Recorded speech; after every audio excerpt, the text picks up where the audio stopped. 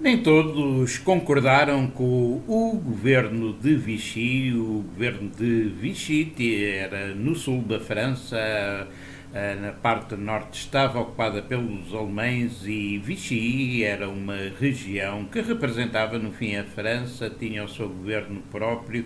No entanto, nem todos estavam de acordo, havia muitos que diziam que se devia continuar a guerra e não uh, estar dependentes dos alemães. Um deles era o general de Gaulle, que tinha feito parte do governo de Vichy como subsecretário de Estado do Ministério da Defesa Nacional, mas acabaria por ir para Londres e formar, formaria um governo provisório da República Francesa a partir de Londres. Havia assim dois governos da França, o do Marechal Pétain, que governava Vichy, na zona sul da França, e que era a favor da capitulação com os alemães, e a do General de Gaulle, que tomara as rédeas daqueles que eram a favor da total libertação da França, portanto, da continuação da guerra. E já estamos a ouvir Alá, uma marcha de carnaval interpretada por Carlos Galhardo.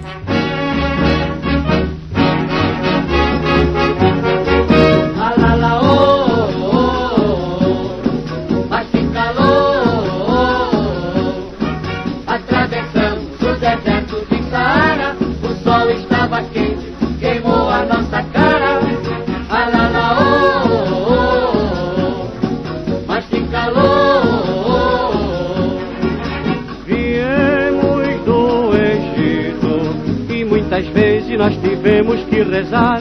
Alá, alá, alá, meu bom alá.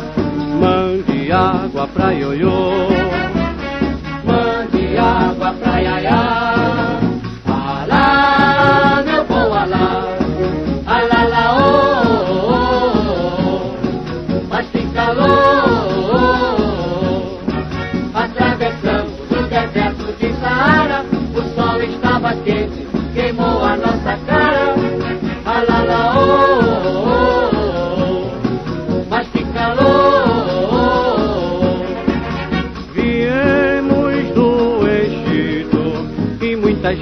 Nós tivemos que rezar.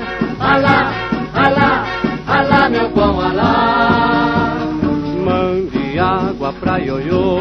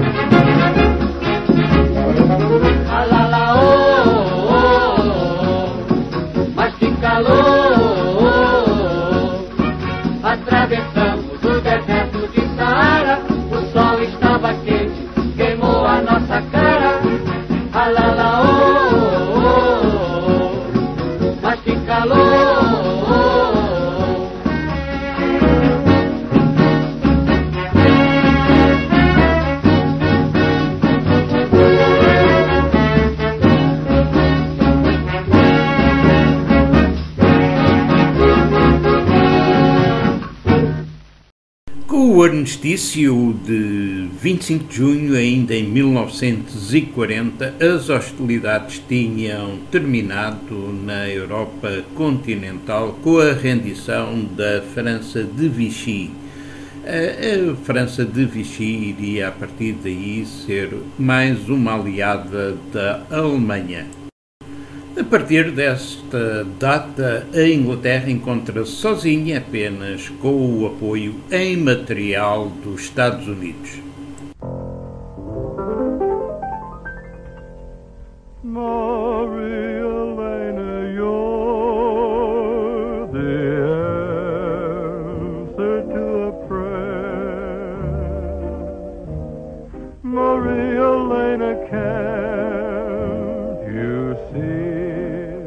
how much I care. To me, your voice is like the echo of a sigh, and when you're near, my heart can speak above a sigh. Maria Elena said that we will never part. Maria Elena, take me to your heart. A love like mine is great enough for two. to share this love.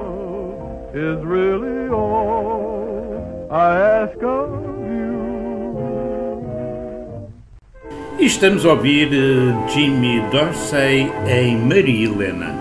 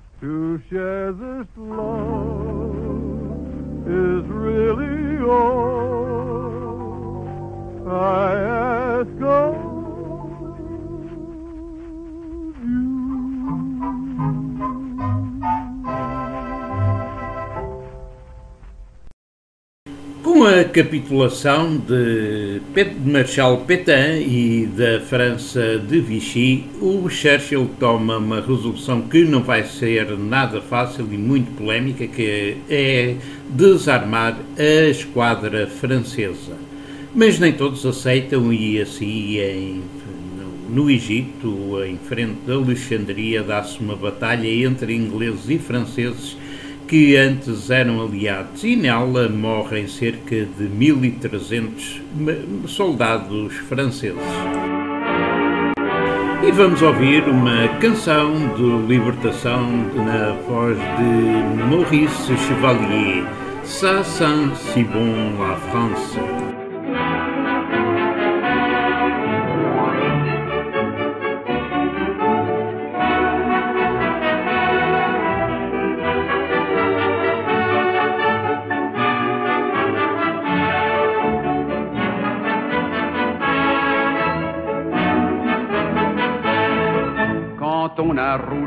Sur la terre entière. On meurt d'envie de retour dans le train, le nez au carreau, d'ouvrir la portière et d'embrasser tout comme du bon pain. Ce vieux clocher dans le soleil couchant, ça sent si bon la France. Ces grands blés mûrs emplis de fleurs des champs, ça sent si bon la France ce jardinet où l'on voit chien méchant, ça sent si bon la France. À chaque gare, un murmure en passant vous saisit. Paris direct en voiture, oh, ça sent bon le pays. On arrive enfin, fini le voyage. Un vieux copain vient vous sauter au cou. Il a l'air heureux, on l'est davantage, car en sortant tout vous en fiche un coup. Le long des rues, c'est refrain de chez nous, ça sent si bon la France. Sur un trottoir, ce clochard aux yeux doux, ça sent si bon la France. Ces gens qui passent en dehors des clous, ça si bon la France. Les moineaux qui vous effleurent, la gouaille des didi. Paris midi, dernière heure, oh, ça sent bon le pays. Et tout doucement, la vie recommence. On s'était promis de tout avaler, mais les rêves bleus, les projets immenses, pour quelques jours, on les laisse filer. Cette brunette aux yeux de paradis, oh, ça la France. Le PMU qui ferme avant midi, oh là là, oh là, ça sent si bon la France. Le petit bar où l'on vous fait crédit, oh ça sent si bon la France. C'est samedi, au plus en faire, repos jusqu'à lundi. Volotte et redis d'air, oh ça sent bon le pays, quel pays, mais ça sent bon notre pays, mais oui.